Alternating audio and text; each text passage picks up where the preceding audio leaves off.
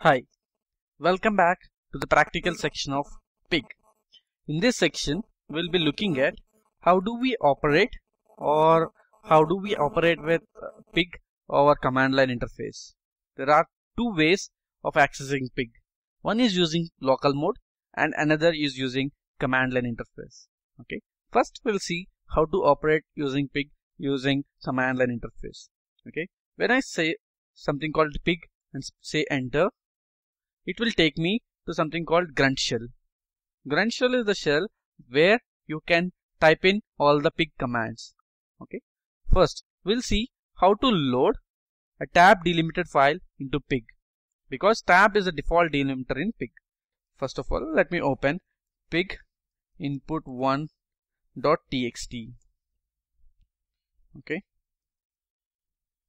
So, I'll type in something like 111 space ABC 222 CDE 333 says E something.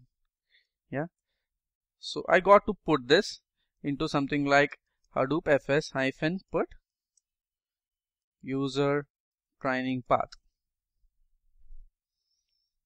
Sorry. Uh oh I, I forgot my input file name which is the primary thing. Okay I've put my input file into user training path. Now let me load this particular pig input1.txt. Let me load this particular file into uh, pig. Yeah. So in order to load, like I said in my previous video, you got to use a variable. Let's use a variable called a equal to load. Yeah. I'll use something called an operator called load to load my file into pig. So load file. What is the file name? This is the file. Okay. Uh, as I wanna give you a schema to it. What is my schema? Schema is nothing but like I, I have given something like this right? See here 111 ABC like that. So I'll give something like id int yeah? Comma sorry id of this is the syntax.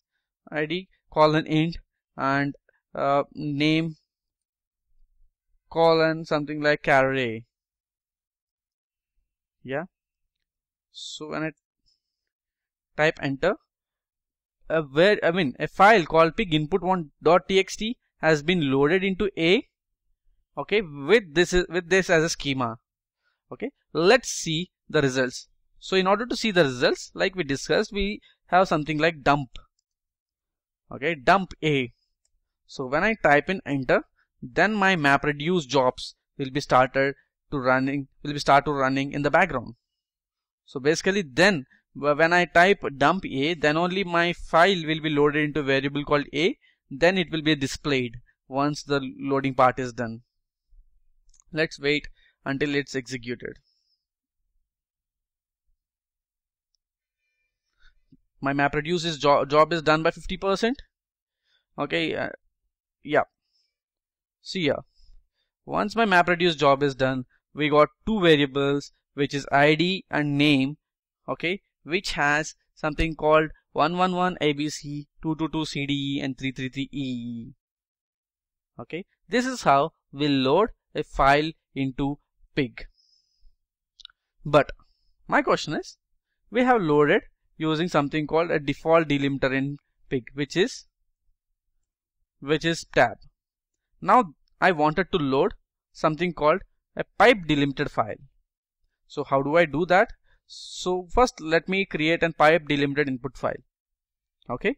So I'm just replacing tab with pipe. So I have a pipe delimited input file yeah? So let me save it. Okay? Uh, I'll just remove this file from my user training path or or I'll do one thing. I'll just rename this to pig input2.txt okay? I'm just putting pig input2.txt into my user training path and this pig input2.txt is nothing but a pipe delimited file. Yeah so let's see how to load it. Okay. Now I'm just using a variable called a1 equal to load.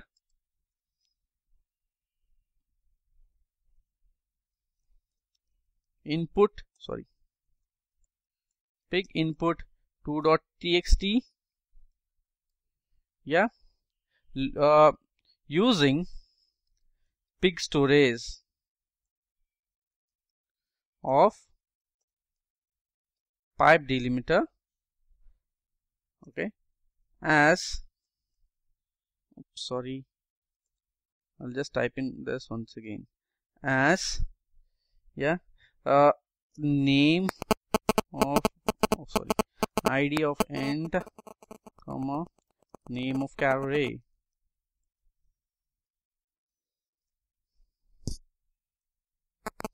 see here what did I do? I loaded the file. Similarly what I had done it for a pipe delimited file. Okay but I have used something called pig storage of pipe. Okay when I used pig storage of pipe it will be a pipe delimited I mean it is it will expect a pipe delimited input which which is residing in your uh, HDFS path. Yeah? So uh, in order to view the results you just like what we have seen in our earlier example I'll just dump in dump a1 it will again run the back map reduce in the background and it will fetch me the results. Yeah my map reduce is started. So it's now just just 50% done. Once it's 100% done we'll get our results yeah.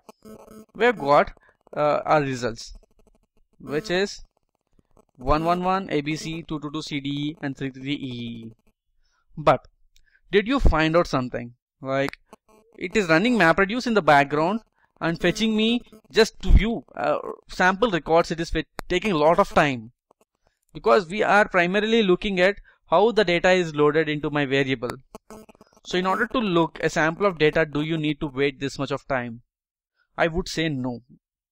So in order to avoid that we have something called illustrate command. I L L S U T R A T E A1 see? Illustrate is the most useful command I would say in pig which would give you a sample data that got loaded into a variable with data types.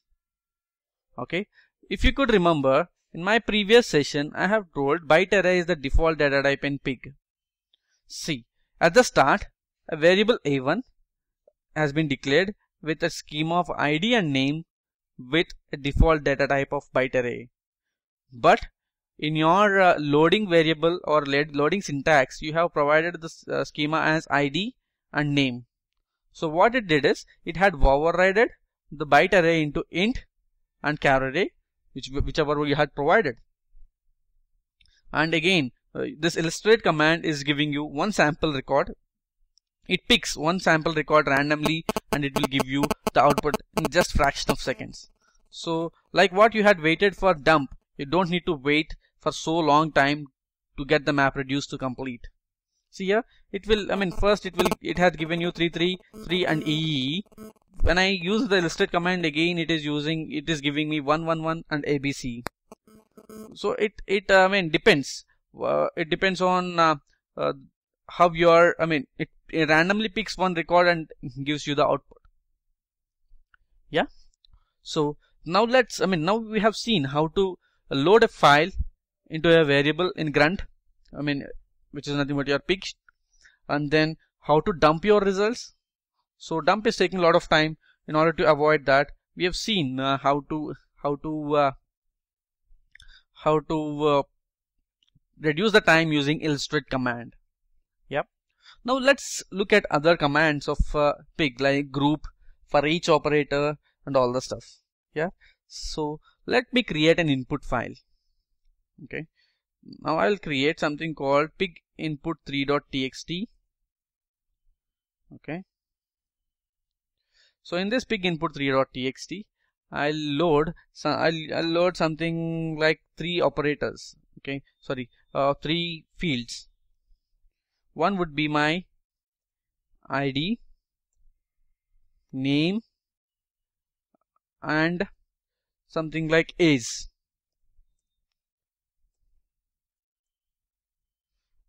I'll give two to records for each age group.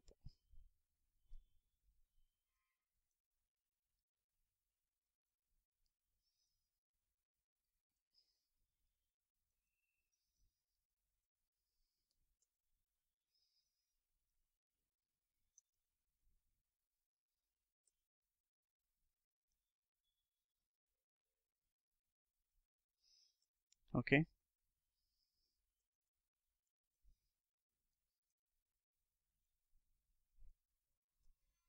Okay. I've given uh, two to okay. Two to records for each age group. I've named it as pig input 3.txt I'll put this into user training path again. Yeah. I've put it. Now. Now what I'll do is okay I'll just clear this whatever we had done so far. Okay now let me use a variable called a2 to load user training pig input 3.txt file in uh, using pig storage of pipe delimiter. Yeah. As uh, we have used something called id which is int. Maybe is this the way for I mean we got to check the format before loading something. Of course this is the format. Uh, name char and is of of int okay. So I've loaded my data. To look at my sample data I'll use something called illustrate a2 so I've got three records three sample records. I mean it's one sample record with all the three fields. ID name is now if you remember I have given two two records for each age group.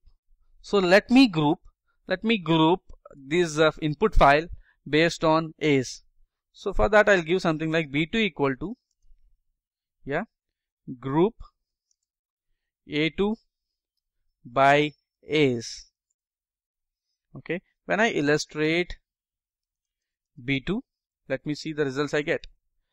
Uh oh yeah. See here for 12 I've got two records that are grouped together. So if you could remember if you could remember my earlier session I told a bag is collection of tuples right? See here I have one I mean two tuples one and two. So I am naming that as a bag here. Because I have got two tip tuples and bag is a collection of tuple. Now that I have grouped my input records based on age see here I grouped it based on age I got two records for age 12 I grouped it so I got my bag and I got a group name as 12 I mean for I mean which is of int data type and I got a bag as a value to it with two tuples. So this is how you can group your input records based on some field in pig. Now that I have grouped based on age and I illustrated it. In order to view the complete results, you can dump B2. Yeah. Uh, that's it for this video. In our next video, we will be looking at further com I mean further commands that are available in pig. Thanks a lot for watching this video. Bye bye.